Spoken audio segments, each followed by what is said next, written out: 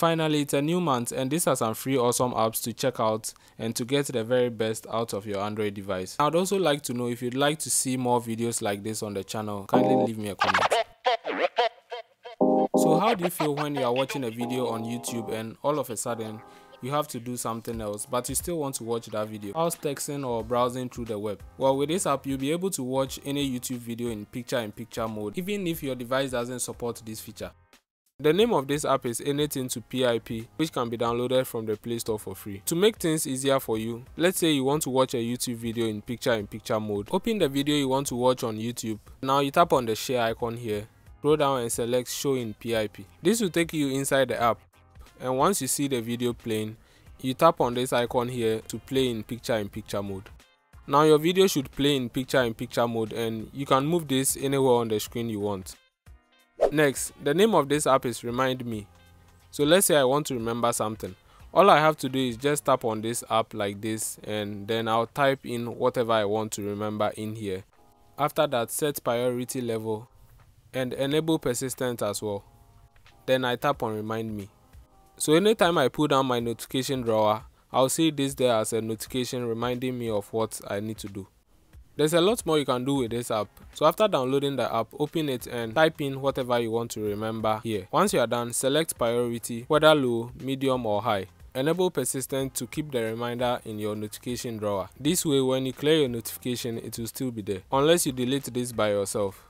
You can save reminders as well when you click on save and you can view your saved reminders here too. You can also view history as well. You can do schedules for future reminders too, like setting a date, time and days. And oh, you can save links with this app and set it as a remind me notification. So the next app to check out is kindly share this video with your friends. I know you don't want to be a greedy friend. Just a reminder. Thank you. Okay, now back to business. The next app to check out is WhatsBlock, but on the Play Store it's called WA Call Blocker. Now with this app, you'll be able to block any unwanted calls on WhatsApp from your contacts, unknown numbers or any WhatsApp call in general. And even you can create a custom list and add numbers from your contacts, unknown numbers and WhatsApp group. Also at the same time, you can make a white list for contacts you like to receive calls from on WhatsApp.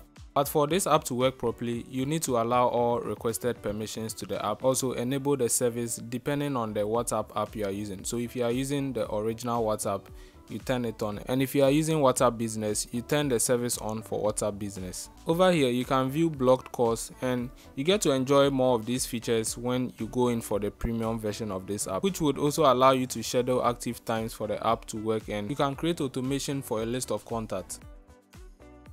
Okay, so with the help of this app, there's no way you are going to struggle all the time trying to pull down your notification drawer on your long display devices. I mean those with devices with long display.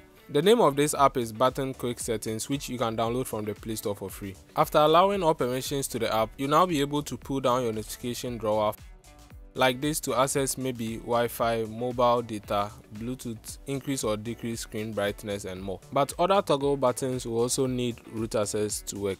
That's not all. The app allows you to do some customization if you want to, like editing tiles, adding more toggles, icon pack, more sliders from volume section like media, alarm or voice call volume. You can also select your preferred theme blend background and adjust layout to fit your style and you can get access to more of these features in the premium version.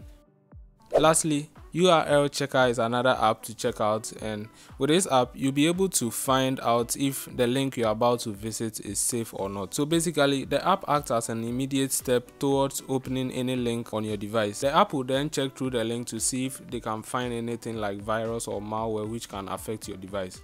Tap here to find more modules with description alongside and their configuration. This will tell you the work of every module. Now anytime you are sent a link or you click on a link you think it's not going to be safe for you, you just select the app then you wait for it to do its checkups. If there is anything wrong with the link, they will show up here like this and you can remove queries, you can also fix issues with the URL and scan for virus before you open the link. This app is a free app you can download from the Play Store. I hope these apps will help you in one way or the other. And yeah I know you enjoyed this video so please drop a like and kindly leave a comment which of this app was your favorite. Share this with your android friends and i'll see you in the next one